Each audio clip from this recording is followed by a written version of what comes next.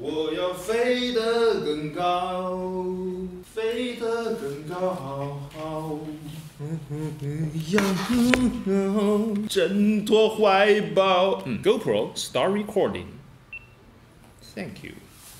好，哎，我把这个东西拿出来干什么？今天看的不是这个，搞错了。等一下，这还记得他吗？二先生给咱们带来的礼物，我来看一下是什么。这不就是两件 T 恤吗？我看看这是什么 T 恤？这个居然是我很耐操，Vision，Vision。这个就是传说中的情侣衫吗？我很持久，我应该穿这一件粉红色。我很持久，这个也不是重点，重点是这边。噔噔噔噔噔噔噔，就是这两盒东西。其实我已经打开了一盒，就是 Vision，Vision 其实就是配套的嘛，对不对？这个飞机，大一个飞机啊，Vision。哦，它上面写的微晶，这个是什么鬼呀？离合器这是什么？你知道吗？不知道，麻烦把我的 iPad Pro 拿过来，我来查一下。好，我们今天就是卖 T 恤了。我很持久，微晶，这是二先生送给咱们说可以玩的东西。W E G E N G，个人遗传基因检测服务平台，解读基因的秘密，遇见未来的自己。哇！看起来好神奇的样子，两百多项检测结果，组员分析，运动基因、营养代谢、健康风险、遗传性疾病啊，遗传性疾病、遗传特征、药物反应，九百九十九啊！这个二先生你好大方哦，那这是两千块喽。好，我来看一下这是怎么搞。哎，居然还有张快递单，什么鬼？用户使用说明啊，他说用途用唾液采集人体 DNA 哦，人类 DNA，工具包含有稳定液体，如果稳定液体接触到你的眼睛或皮肤。父亲用清水清洗。好，注意事项：采集唾液样本前三十分钟内不得漱口、饮食、吸烟或嚼口香糖。采集唾液样本时，用舌头轻刮上下颚或牙齿，以保证脱落细胞的数量。这是什么？哇，有个生化标志，生化危机。这里面看起来好高端的样子。加拿大制造。采集前请阅读说明，到处都是红色的字体，就这样吐口水吗？待会儿让铝合器也测一下，看看它的主源是什么，是不是人类？万一是个小鱼，或者是其他什么呢？比方说那种很胖的鱼啊，对不对？第一，请用微信扫描图一中的二维码，将唾液吐进漏斗，会直至液体唾液而非气泡量达到图二所示的高度。第三，单手持试管，直到听见响亮的咔嚓声，液体流失，唾液不转开，所以弄一下，从试管装入深生物安全带种，贴紧封口，寄回去。哦，我又。在这里，这个一放进去可以很黑科技的显示，你的主人是什么？原来是要寄回去的哦，难怪刚才有一个顺丰快递哦，就像医院采尿液的东西是吧？然后寄给你，你把它挥哗一泡口水吐进去，然后寄回去就完事儿，好吧？先来注册账户，好，哎呦，哎呦，呦呦，哎呦，把飞机踩了，来，我们来注册一个账户，嘿，赶紧的，这一段快进，快，快点，好，嗯，哦。注册成功了吗？有一封邮件过来了，点击邮件去，请输入采集管上十四位的套件码。这里，看到，呀，嗯嗯，这是错。将采集完成样本邮寄回 Vision，到付即可。样本寄回后，Vision 我们将尽快为你的样本进行检测。四到六周啊！好，谢谢你们收看这一次的 PPT 啊，四到六周之后我们再见。嗯，来来来，开始吐口水。口水这个事情我最喜欢了，小时候大家都喜欢嘛，对不对？不会，不会，会。确定就这么吐吗？将唾液吐进漏斗，牛先，吐口水，这是往里面吐啊？对啊，这是我的，你的在这里。我看看。来，过来，过来，过来。哎呦，好冷哦，这个天。来，这是你的，这是我的，你是不是星星面的？你才是星星面。好。你不是？万一他是傻叉呢，是不是？万一他是猪呢？牛记的前世可能是个猪。你才是个猪，我是个牛。哟，不得了哦，你才是个牛哦，难怪这么五大三粗。牛明明是聪明，好不好？嗯。啊！咦呀，那只有一点点，泡沫不算，要算口水。啊！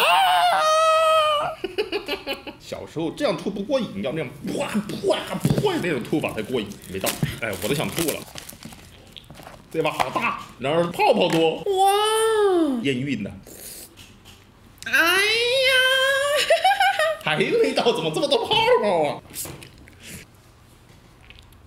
哎呀，龙潭都进去了，摄影师在对面已经受不了了。好，我已经到了，来用力，哎呀，我吐了哟，咔嚓一声响了，我吐不出来。保持试管直立，从试管上拧下漏斗，使用试管盖盖紧试管。啊，拧下来不是全是泡泡，糟了，是不是已经进去了？搞得我们像科学家一样。糟了，我这个好像也流进去了，你傻呀？你盖它干什么呀？它就跟它充分的融合。赶紧吐啊！先吐啊！人家叫你，你先他妈就盖了，你他妈已经流了这么多进去了。你浪费了一千块呀！我吐不下去，混合了。看，好恶心呐、根据，哎，这个哦，我知道衣服的用处了。那怎么拧下来啊？嗯，开，哎呀，头发都进去了，哪边是松啊？糟了这是，它好像采集到我的口红了，我拧不下来怎么办？给我点纸啊！看，哎呀，好恶心啊！这个人。沿着校园熟悉的小路，你的口水怎么这么多？里边还有食物残渣，还有口红。那我把这个拧不下来怎么办？好，好，拧下来了。嗯。哎哎呀，好恶心！这一盖不是就就就溢出来了？我们这个还是 B B T 吗？你们看这个像什么？来喝了它。摇晃加盖的试管五秒钟，一秒、两秒、三秒。我盖住了哟，吐了。这么多了，你看我满满一一管，你看女后期这么点点，你干什么？不要把你那个手放到我这里。好了，我的标本采集完成了。你要把你的标上，那女后期，请你喝了。接下来的步骤就是把它拧开，然后一饮而尽。请你喝，请你喝我的。滚！它就是这样，它这个布是这么用的，就是把这个包住，免得看了会吐。我怎么感觉有个医药的味道？哦，这个是这样的，真的，看我的唾液，你的唾液是你的唾液。是我的唾液。好了，接下来是寄回去的事情了。健康风险万一我有什么疾病怎么办？死啊万一我得了癌症怎么办？死啊我会得胃癌。死！来，我们把它放到铝后期的包包里边。走开！好了，那么这个东西呢，我们就做完了。Thank you，谢谢二先生。妈，这是你看到我的最后一眼，对不起，我查出来得了癌症。我们要等几天啊？封子，四到六周。疯子呢，逼上他就不会得癌症了。哦，你错了，你不是这件，你是这件。好，接下来各位亲爱的 test 网友，我们要干点什么呢？我们要。好了，刚才这个东西呢就搞完了。如果你们想检测基因，请找二先生，谢谢二先生。好，接下来我们说点正经的事情，就说说咱们的花花草草检测仪。我们这边办公室呢有两个花花草草检测仪，这两个是什么呢？一个是 Parrot，一个是小米。检测仪很简单，它的基本功能呢就是插到土里面，在 iPad 上面通过蓝牙和它连接，然后 iPad 上面选择你种的东西，比方说你是种的女后期，你就在上面选女后期；你是种的男后期，你在上面选男后期，它就会有对应的参考值。这个检测仪插在这个土里面，检测这土壤的一些水分呐、检测光照啊，然后还有这个肥力啊这些，然后由你的手机传给服务器，然后服务器在上面就判断了啊，这个你后期差一点水。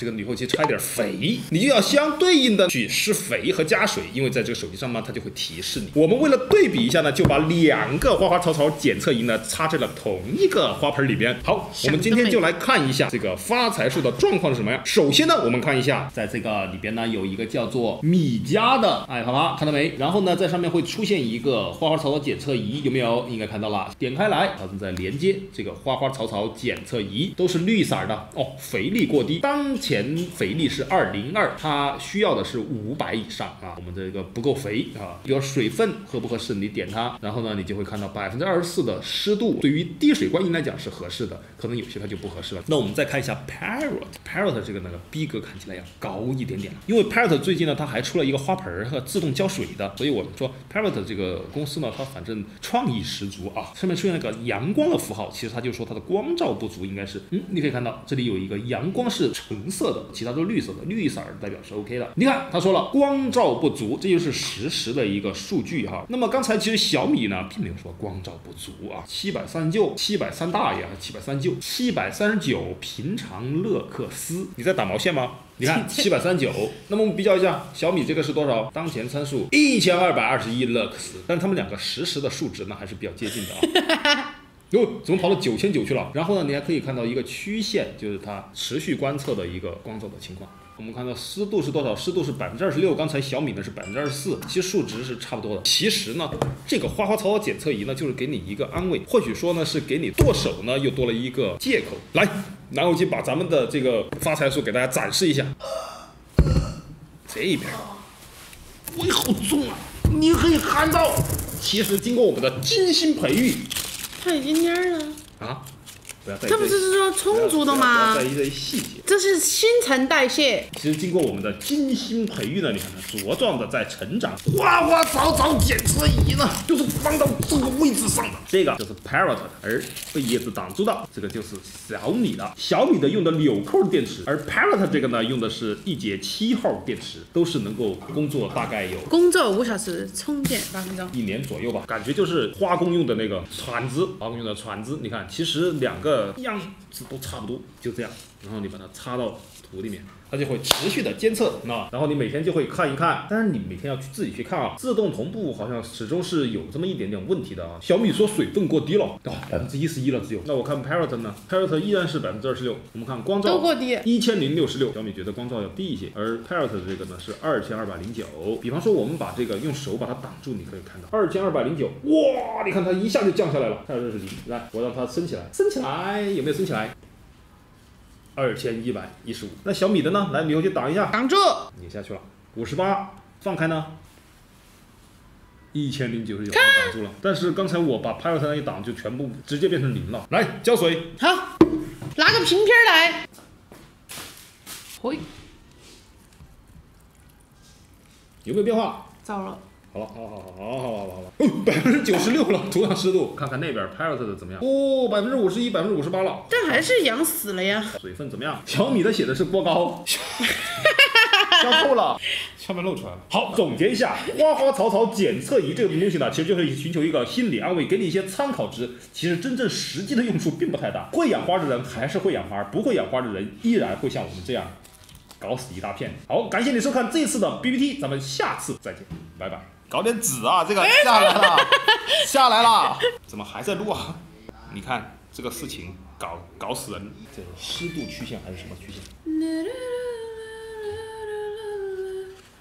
？GoPro stop recording。